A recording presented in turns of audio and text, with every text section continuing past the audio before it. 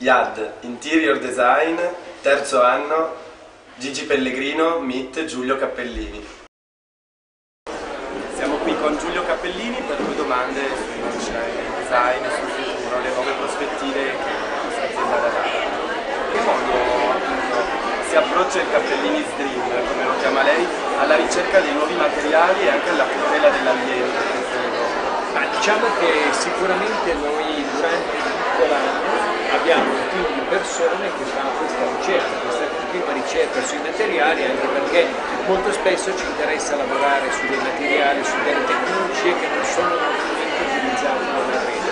E questo porta comunque anche a dei processi anche lenti, spesso sono dei processi che necessitano di mesi o di anni, però ritengo che oggi fare vere innovazioni significa lavorare in questa direzione, non basta inventare una forma nuova, ma bisogna veramente pensare a nuovi sistemi produttivi, bisogna sicuramente pensare all'utilizzo di certi materiali che oggi sono estremamente interessanti e perché non cercare di fare comunque dei prodotti che siano anche facilmente raggiungibili. Il design sta cambiando, sta crescendo, si evolve.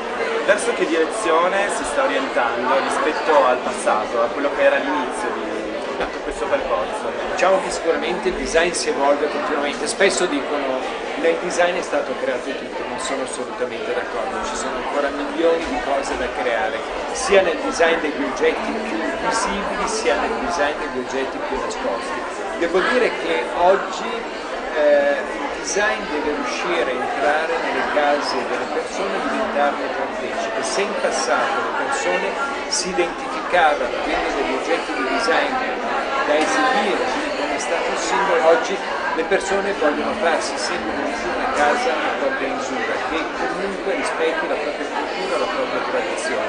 Non esiste più consumatore culturale, oggi esiste un consumatore che ama mixare tendenze differenti, oggetti diversi, progettati in epoche diverse, da designer diversi, prodotti da aziende diverse e di luoghi diversi. Ecco, fare la contemporaneità e l'evoluzione del design proprio muoversi in questa direzione.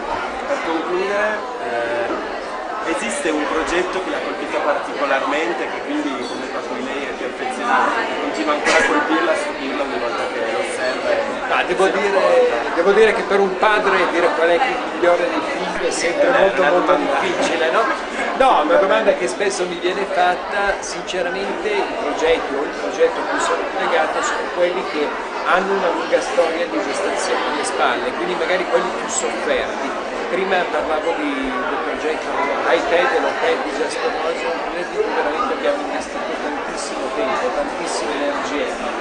momento nel quale sembrava di essere arrivati alla fine dovevi ripartire dall'inizio, certo, ecco forse questo è il progetto più, sono, più legato perché da una parte è stato un progetto estremamente faticoso, dall'altra parte un progetto che però ci ha dato poi nel mercato una grandissima soddisfazione.